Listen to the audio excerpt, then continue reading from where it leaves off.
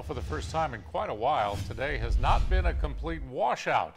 The deluge within the last couple of days, however, has created a lot of problems. The flooding is now causing raw sewage to openly flow into streets, creeks, and rivers. We have team coverage tonight breaking down the impact the nonstop rain is having. Our reporter standing by across the area tonight. We begin with NBC 15's Karis Harmon. Uh, Karis, the rain is to blame for these sewage overflows. Yes, and officials say there are many health risks associated with being exposed to nasty water.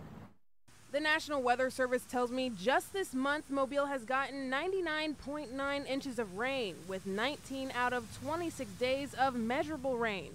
The rain has caused flooding, road closures, and other issues, but one of the most hazardous sanitary sewage water overflows, also known as sewage spills. It gets diluted a little bit when you have the kind of issues like we're having right now, where it's a bunch of rainwater that's causing the spills. So it gets diluted a little, but it's still everything that's going down the toilet, everything that's going down the drain. Cade Kistler with the Mobile Baykeeper tells me sewage spills happen when a line is blocked or when there's not enough capacity after a heavy rain. That the sewage actually starts to spill out of the system and onto the roadways, waterways, and neighborhoods.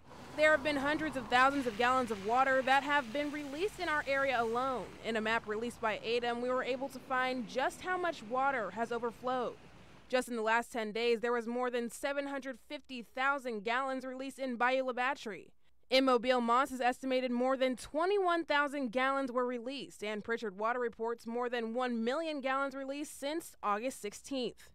I reached out to each of these companies. Prichard Water hasn't gotten back to me. MAWSS says this is just something that happens when it rains in Mobile, and Bayou Batre Utilities was closed.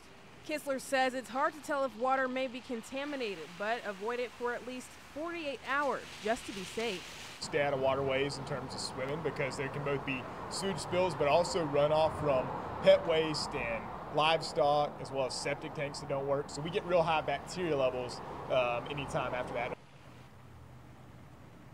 He tells me if you come across a manhole like the one you see on your screen right now that's overflowing, make sure you report it to your water company and avoid it. Live in Prichard, Karis Harmon, NBC 15 News.